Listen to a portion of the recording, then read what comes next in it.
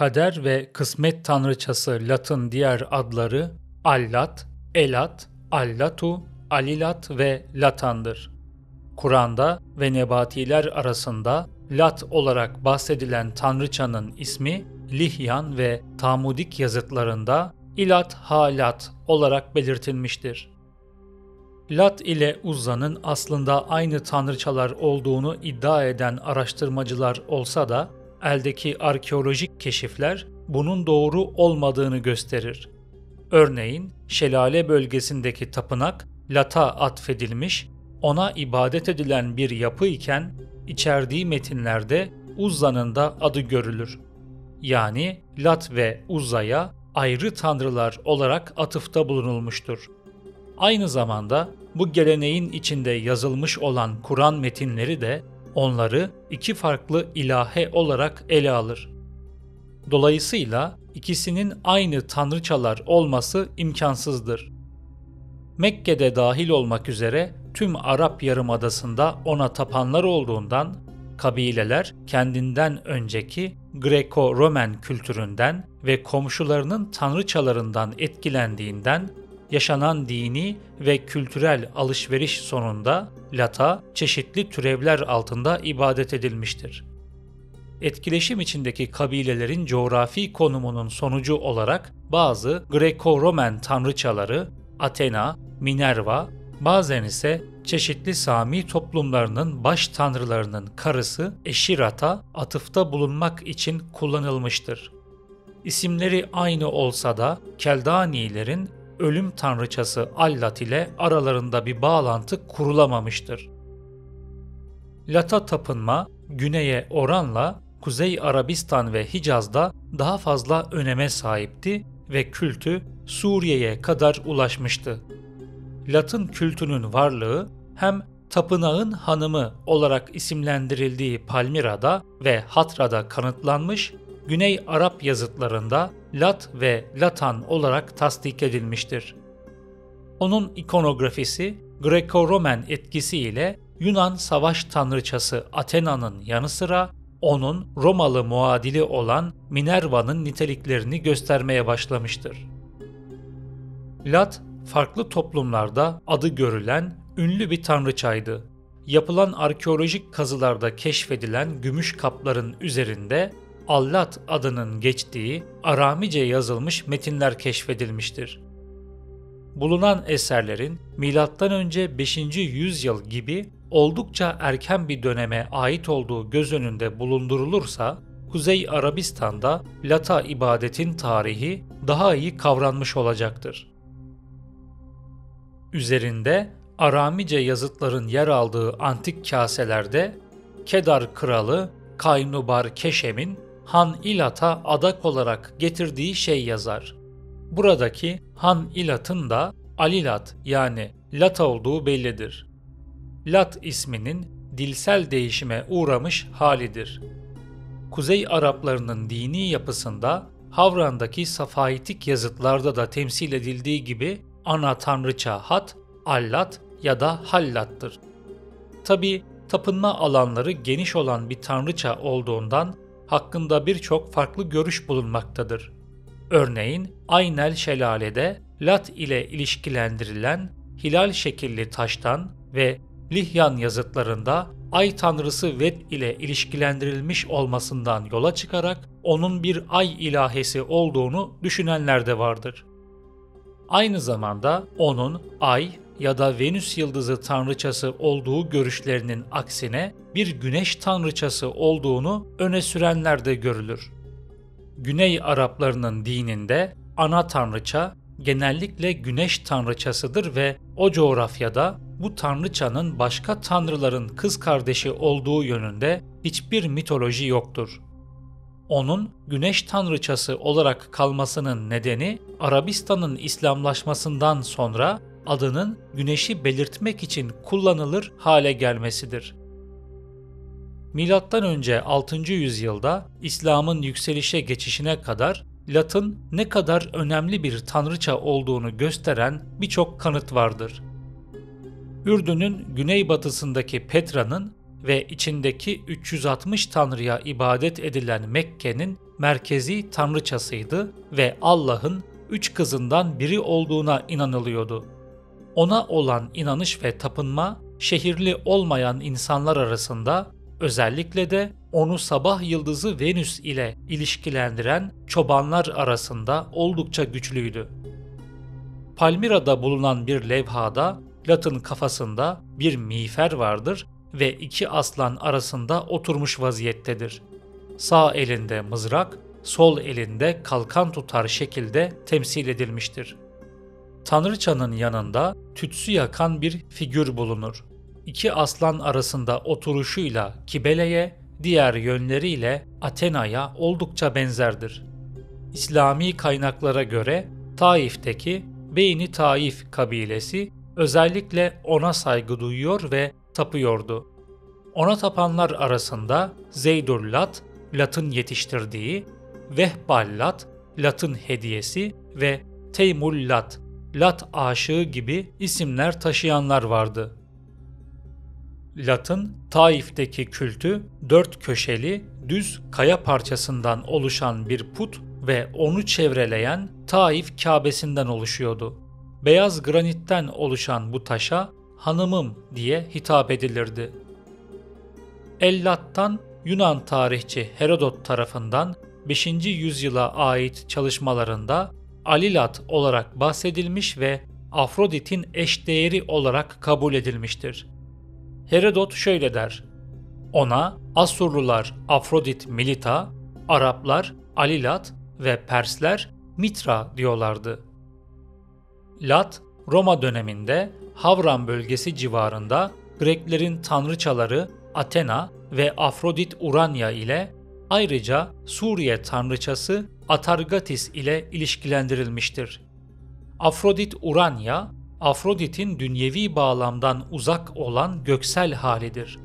Dünyevi olan varyantı Afrodit Pandemos'tur ve tüm insanlar için Afrodit anlamına gelir. Herodot'a göre Araplar Afrodit'in bu göksel varyantına Alilat veya Alitta ismini vermişlerdi. Konuyla ilgili şöyle yazmıştır. Araplar Dionysos'u Orotalt ve Afrodit Uranya'yı Alilat olarak isimlendirmişlerdi.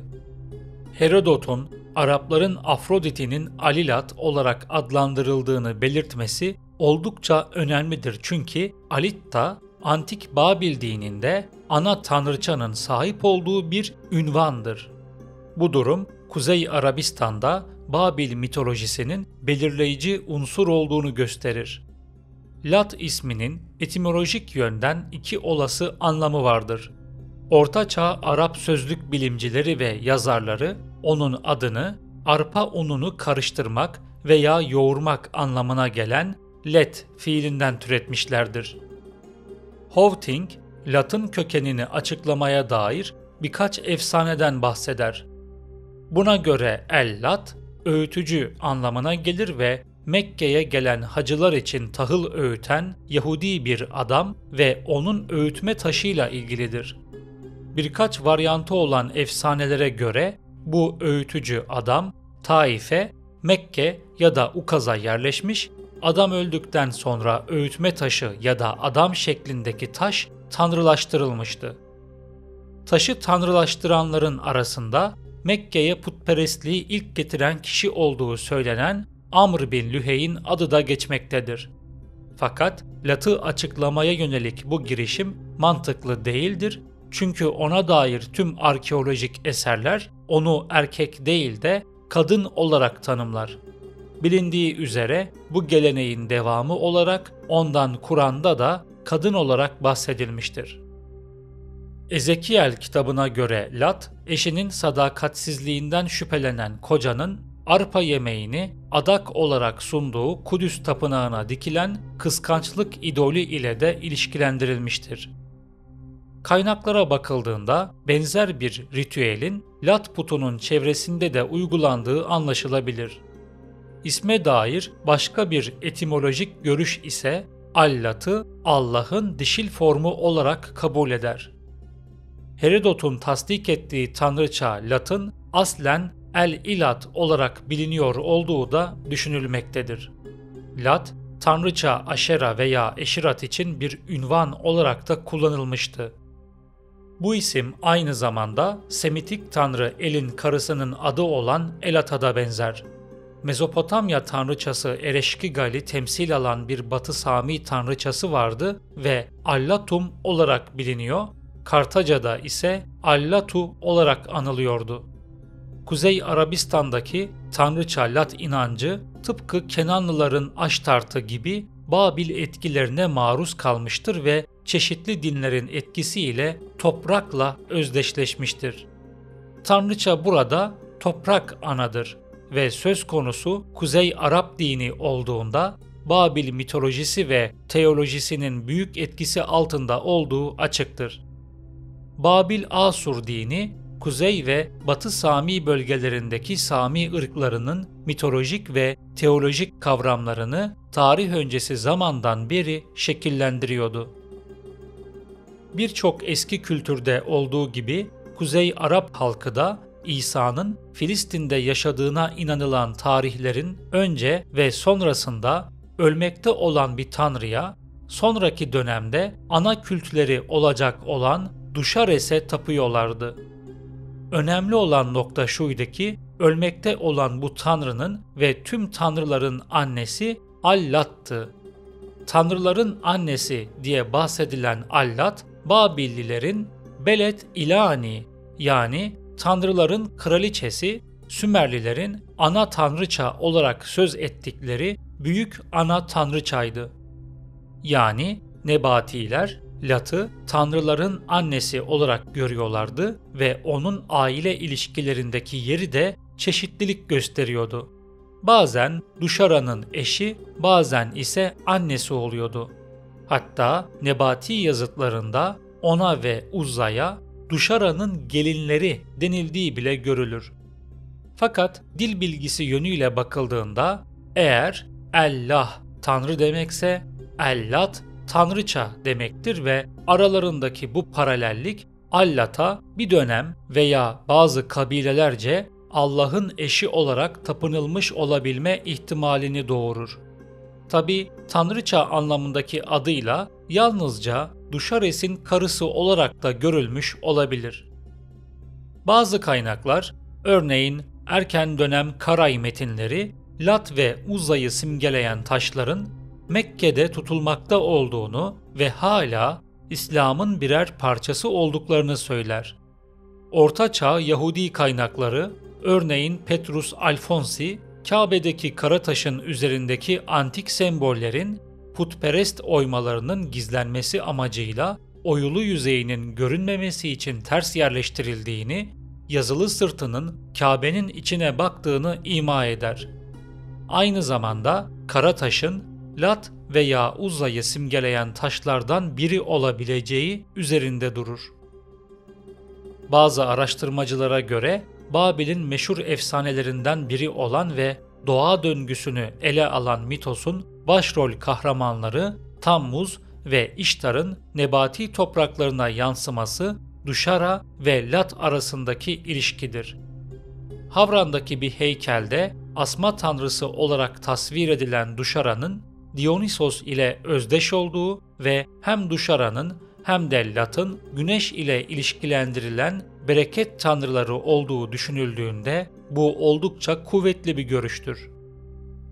Yunanlılar tarafından kentin talih, kader ve refahını belirleyen şans tanrıçası Tike ile özellikle de Nebati Krallığı boyunca uzanan madeni paralar üzerinde temsili kabartması bulunan Antakya tikesi ile özdeşleştirilmişti.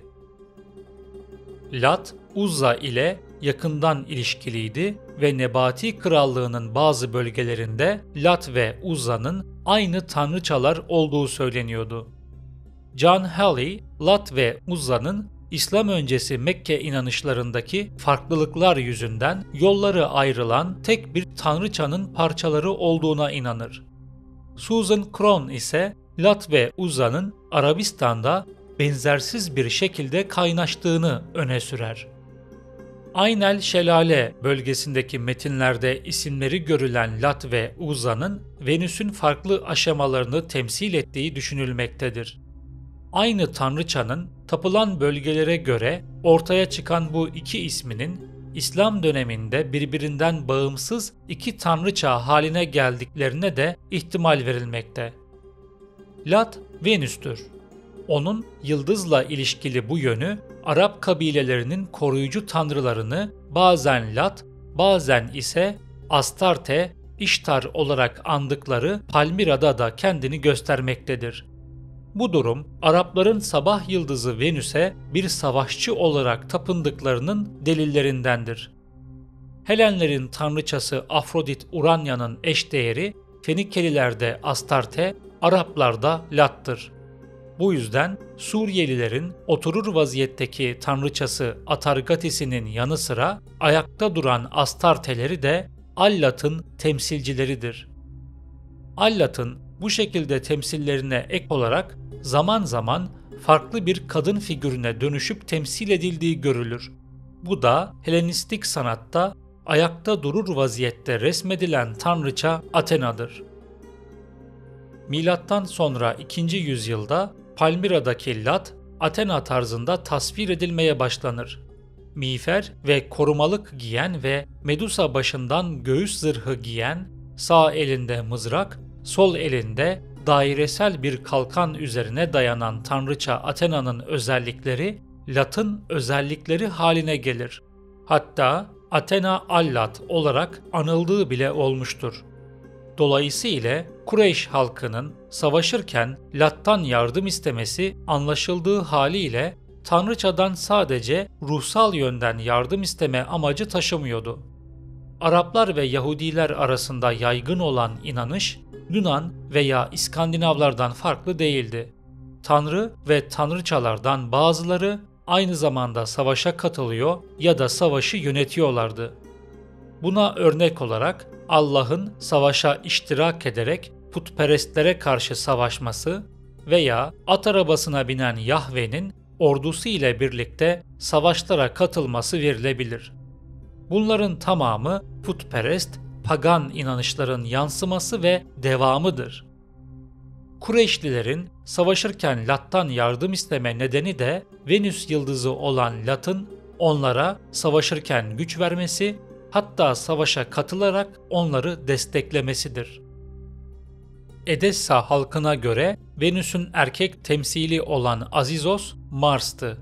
Halkın düşündüğü şey sabah yıldızının savaş tanrısı Mars'ın kişileştirilmesi olarak kabul edilebilecek savaşçı yönlere sahip olduğuydu. İşte bu gelenek Lat'ın savaş tanrıçası Athena ile özdeşleşmesini anlaşılır kılmakta. Vahballat, Teoforik isminin Latince formuna sahip olan Palmira İmparatoru Vaballatus'un adının Yunanca formu olarak Athena Dorus'u kullanmaya başladığı görülür. Yani kimisi için Athena daha baskın ve önemli görülmüştür. Güney Suriye ve Ürdün'ün kuzeyindeki Bazalt çölünün göçebeleri tarafından kullanılan bir Güney Sami el yazısı olan Safaitik metinlerinin yazarları yazıtlarında sık sık Lat'tan söz etmiş ve ondan esenlik, rahatlık, refah istemişlerdir. Yolcular ona iyi hava şartları ve koruma için dua ederken aynı zamanda intikam almak, baskınlardan ganimet elde etmek, yazıtlarını tahrif edenleri kör ve topal bırakması için dua ediyorlardı.